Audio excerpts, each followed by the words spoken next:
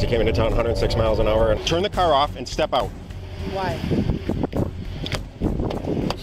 Why? Step out of the car right now. Get out of the car. This car. I'm trying to comply with you. I What your compliance is going to be getting out of the car. I'm not going to get out of this car. Okay, you are under arrest What? for reckless endangerment. For what? That's a felony crime. Who am I endangering? Come out of the Who am. I endangering? I really don't have time for this. I'm not going to your jail. I just want the ticket. When you get out of the car and hand me your keys, we can move forward. I don't have keys.